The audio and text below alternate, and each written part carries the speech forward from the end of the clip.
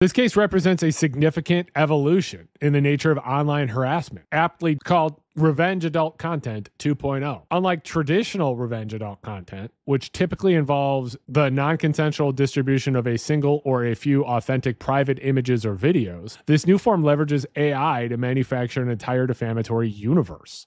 The psychological trauma inflicted on the victim is profound and unique. Archita Phukan was subjected to public judgment and condemnation, not for something she had done, but for a completely fabricated parallel life created by her abuser. This is a deeply violating form of abuse where the victim is forced to watch a digital doppelganger engage in acts they never committed. This harassment model is alarming. AI enables the abuser to create a virtually infinite stream of defamatory content ensuring a continuous cycle of abuse. Further, the content, once it's released online, can be endlessly remixed, shared, and redistributed across countless platforms, making it nearly impossible to contain or get rid of. After Bora's arrest, Archita Phukan's public response highlighted the immense pressure placed on the victims of these high profile cybercrimes. In her statement, she thanked police for their swift action and appealed to the public to respect her privacy. She showed composure while navigating this public scrutiny and dealing with immense personal trauma. The Baby Doll Archie scandal shows how